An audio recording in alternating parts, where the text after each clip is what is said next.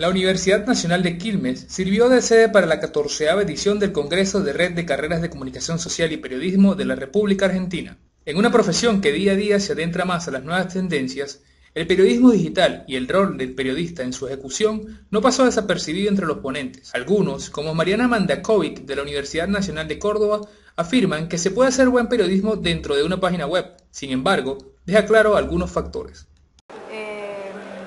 Que esto hay que relacionarlo todo lo que es la parte digital, la, este, revolución tecnológica y las nuevas innovaciones con el tema eh, de la superabundancia de información, digamos, ¿no? Entonces, eh, se puede hacer buen periodismo dentro de una página web también, siempre y cuando. Lo que pasa es que los tiempos te van condicionando y este, cómo te condiciona el trabajo dentro de las redacciones, ¿no? dentro de, la lógica de la empresa. Si se puede romper con eso, es muy probable que sirva mucho, ¿no?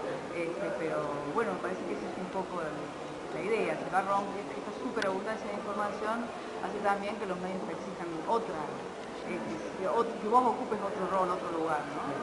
ya no alcanza solamente con la tarea que desarrollas como periodista, sino además tenés que ser creíble para esta multiplicación de información que hay, entonces el medio necesita que vos te asumas otro rol y te conviertas este, en un producto en vos mismo para este, tener más rentabilidad de esa idea.